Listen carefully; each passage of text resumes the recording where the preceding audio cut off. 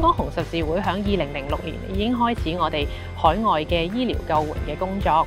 響二零零九年咧，我哋就開始咗我哋 ERU Emergency Response Unit 嘅 training。醫護人員咧，其實落到去海外救援嘅時候，其實我哋都睇到有好多傷者啦，同埋佢哋家屬上面嘅需要，包括係佢哋響 M.H.S.S. 即係佢哋心理支援上面嘅需要。